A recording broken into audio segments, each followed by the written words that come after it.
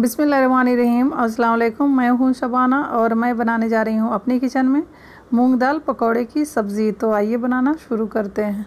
तो इसे बनाने के लिए मैंने एक कप छिलके वाली मूंग की दाल को 30 मिनट के लिए पानी में भिगो दिया था। अब इसे अच्छे से धो लेंगे और फिर एक मिक्सर जार के अंदर डालकर इसका एक फ़ाइन पेस्ट बना लेंगे। तो देखें, पेस्ट मैंने बना लिया है। अब इसे एक मिक्सिंग बाउल के अंदर ट्रांसफ़र करेंगे।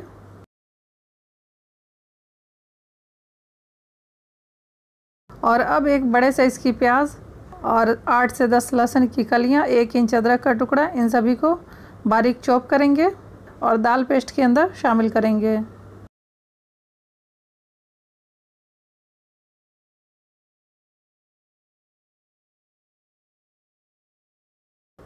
अब इसके अंदर four to five tablespoon बेसन शामिल करेंगे और इसे अच्छे से मिक्स करेंगे।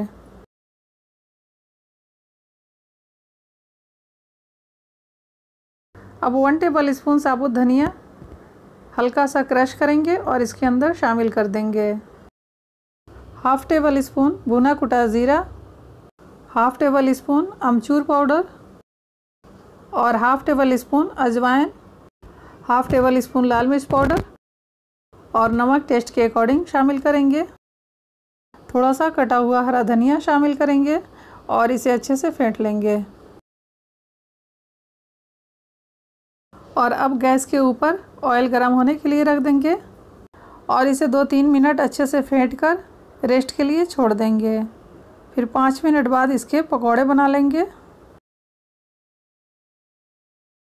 तो देखें, इसे रखे हुए पाँच से सात मिनट हो चुका है और ऑयल भी हमारा अच्छे से गर्म हो गया है। तो अब इस बैटर से छोटे छोटे पकौड़े बनाएँगे और तेल के अंदर डाल देंगे। और इसे चारों तरफ़ से लाइट ब्राउन हो जाने तक फ्राई करेंगे।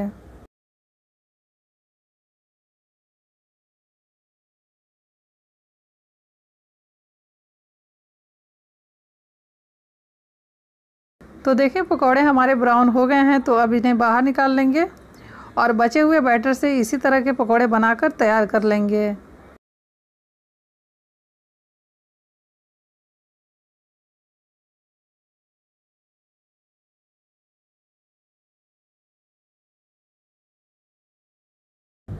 तो सारे पकौड़े हमारे बन चुके हैं तो अब इसके लिए ग्रेवी तैयार करेंगे।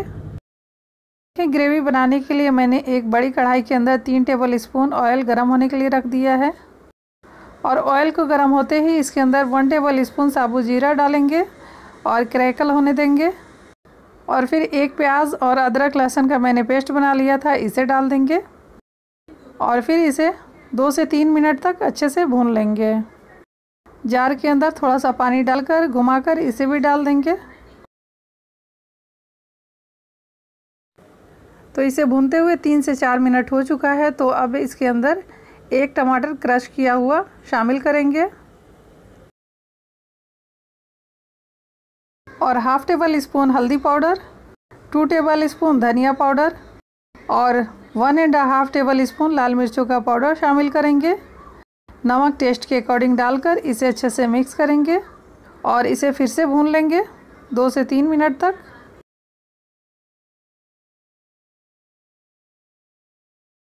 तो देखें मसालों के ऊपर तेल नज़र आने लगा है और मसालों को भूनते हुए दो तीन मिनट हो चुका है।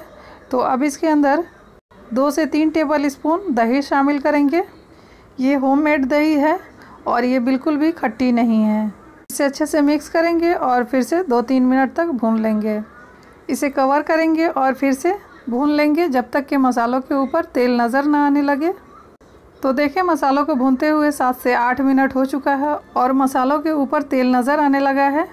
तो अब इसके अंदर एक से दो गिलास पानी शामिल करेंगे और इसके अंदर एक उबाल आ जाने देंगे।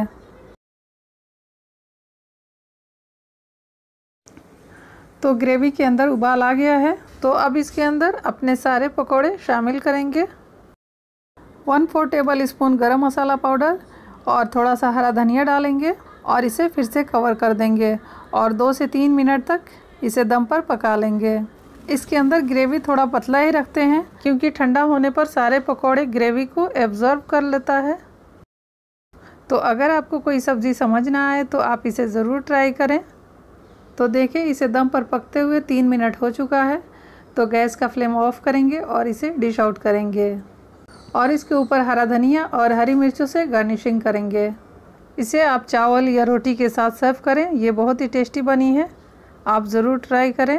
अगर आपको मेरी वीडियो पसंद आती है तो लाइक करें, कमेंट्स करें और मेरे चैनल को सब्सक्राइब ज़रूर करें। और मेरे लेटेस्ट वीडियो देखने के लिए बेल आइकन को ज़रूर दबाएँ। अल्लाह हाफिज़।